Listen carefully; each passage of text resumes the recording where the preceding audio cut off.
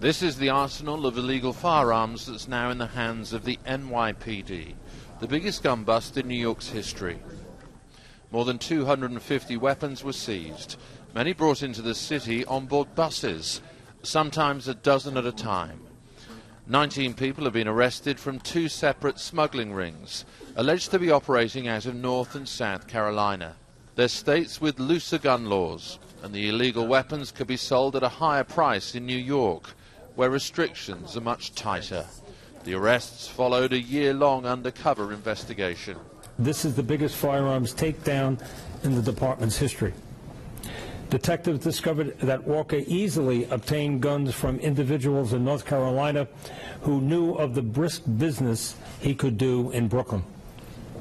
The arrests come at a time when Mayor Michael Bloomberg's crime-busting police reforms are the subject of fierce debate.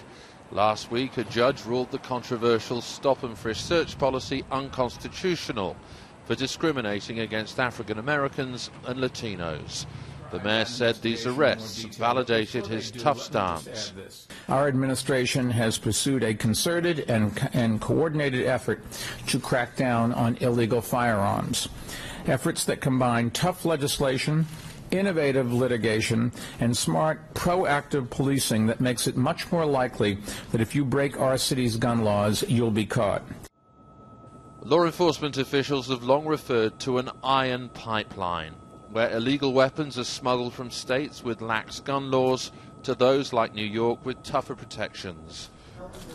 This seizure appears to have put part of that pipeline out of business.